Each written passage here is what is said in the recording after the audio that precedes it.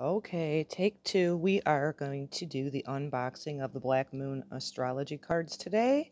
And I had to start this video over as I got interrupted. So I already have them out of the box. I usually wait with excitement to reveal them to myself with my listeners.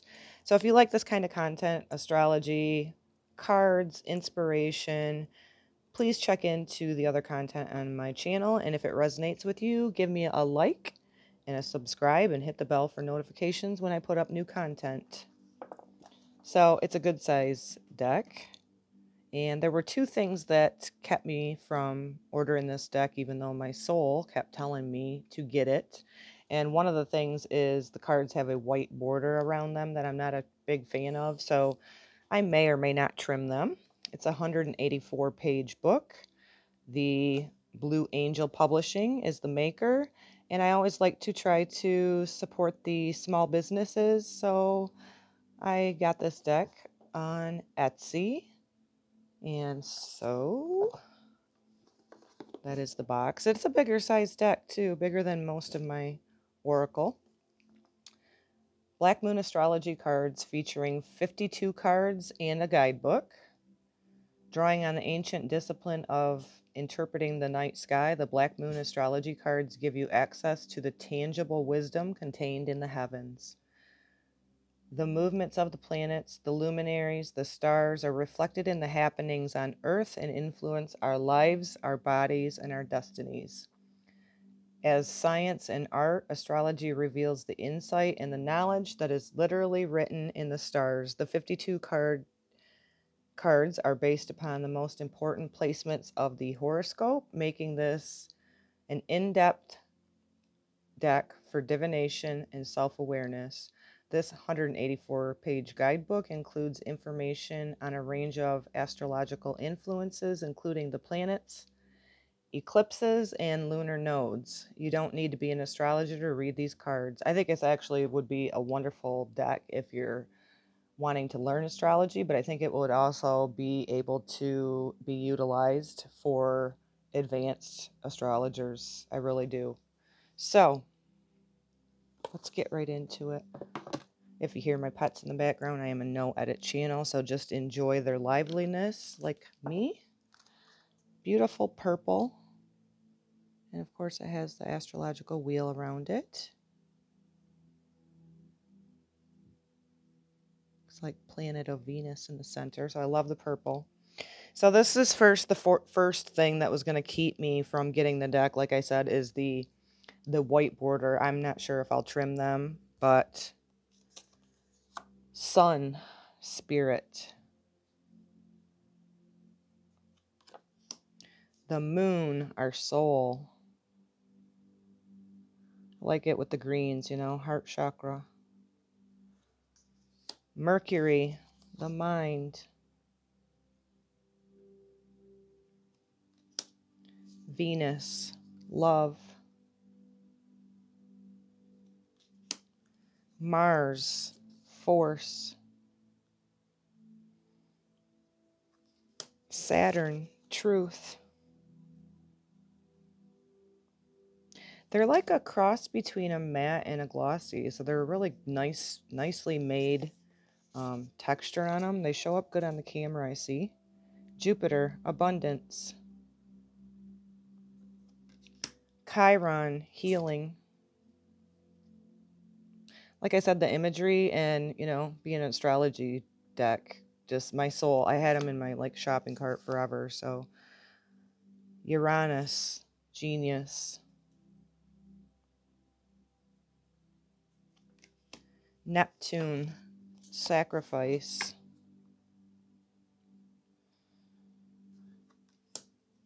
Pluto, transformation. They're also numbered, as you see. So if you like numerology, it's another way you can utilize the deck. Black Moon Lilith, mystery. Aries, I am. Taurus, I have.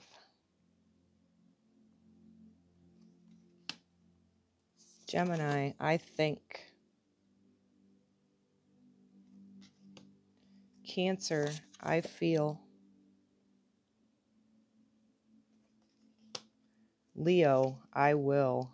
I love this. I like the lions anyway. Virgo, I analyze.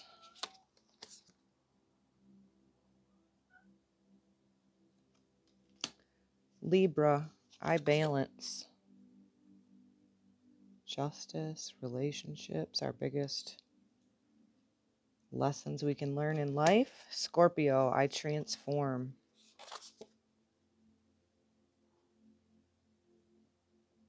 I'll probably have somebody trim them. Sagittarius, I see.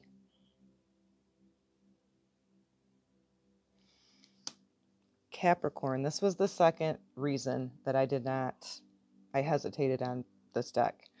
And this is a, just a perfect way for me to heal something that's not healed in my life because I'm triggered by what they used the word here, Capricorn, I use.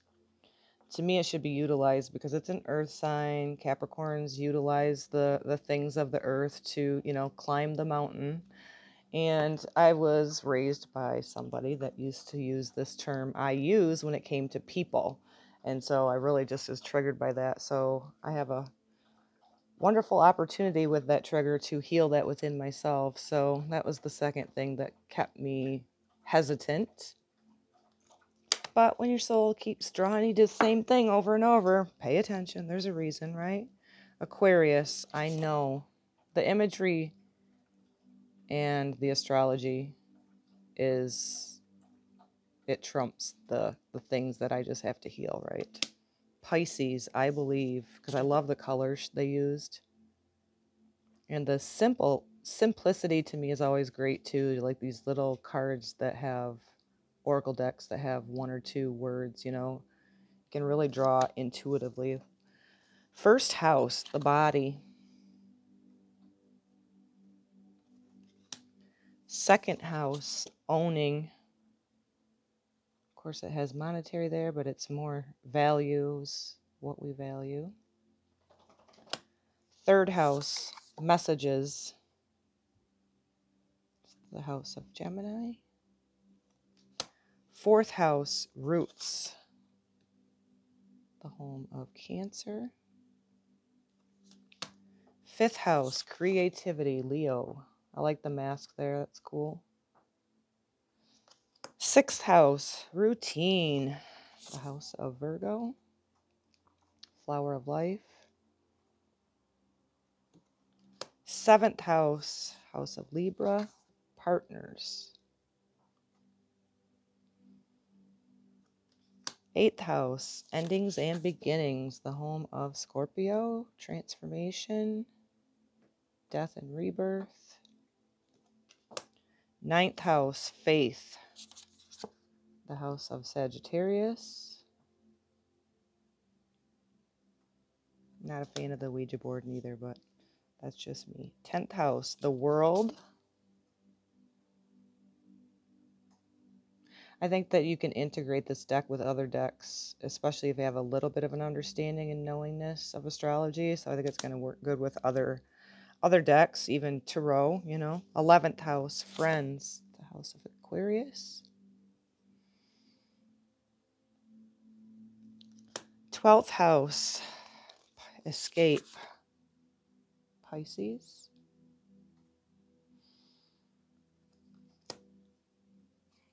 Fire element, that's another thing I liked about this too. It includes the elements, includes the nodes.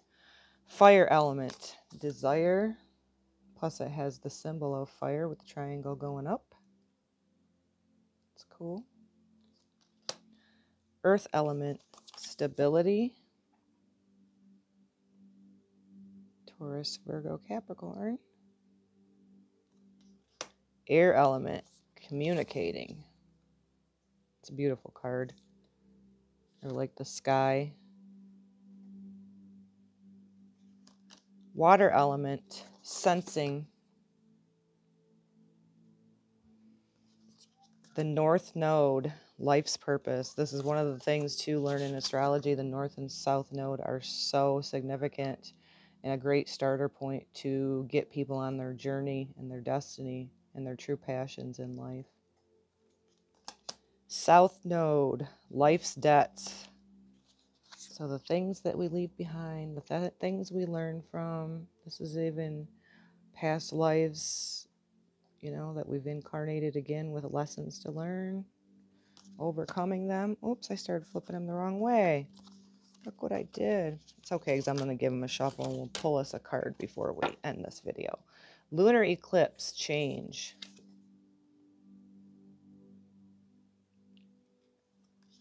Solar eclipse, revolution.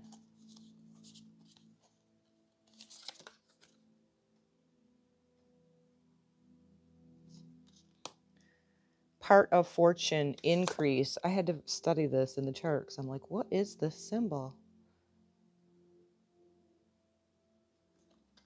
Grand Trine, blessings. So this is a harmonious aspect, obviously. The Grand Cross, Provoker, which is provoker of change and evolution of our soul. Believe we had one today, which is January 4th, if I'm not mistaken. The Yad, Destiny, Love it with the Merkaba. I have a couple of yads in my birth natal chart. Jupiter return, benefits, expansion. Saturn return, age. It's usually when people go through the dark night of the soul, they don't realize they're in a transformational time when they have their Saturn return. It can cause depression and whatnot if you're not aware of the beautiful spirit within yourself that you're just in a metamorphosis transformation. So they're pretty big. Mercury retrograde, reinvention. Believe we have one coming up, and it may, is it in? I think it's going to be Mercury retrograde in Aquarius, if I'm not mistaken. Void of course, moon, missing. So let's draw ourselves a message.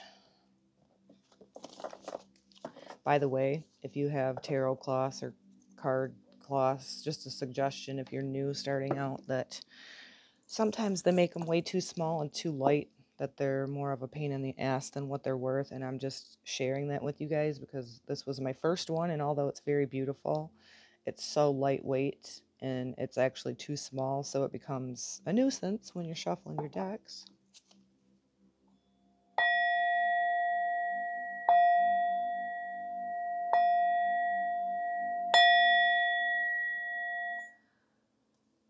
Always bless my de- decks with the divine. I bless my decks with the light. And I ask the Holy Spirit to always be present. And so it is. So let's see how they shuffle. It's definitely a nice cardstock, too.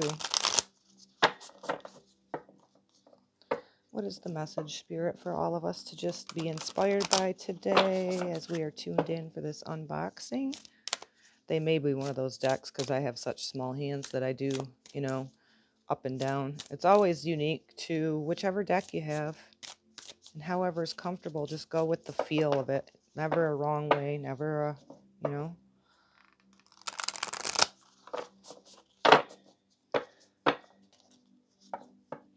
I like my Chakra Oracle one too because it's a really small, it's like the size of a, a tarot deck and they're fun to shuffle. I will put in the description box the exact name of this deck and the maker. And again, um, try to support small businesses like Etsy.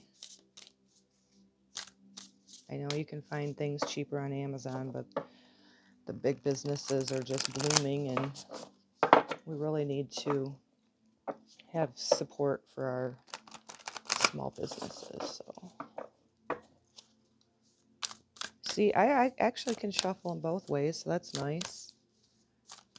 Which message are we going to share today? Did I only get one? Seventh house, partners. So this is the house of Libra. Again, in our lives, this is the most biggest learning tools is the relationships that we're in. This can be family.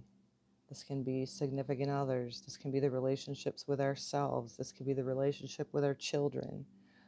This can be our relationship with our coworkers.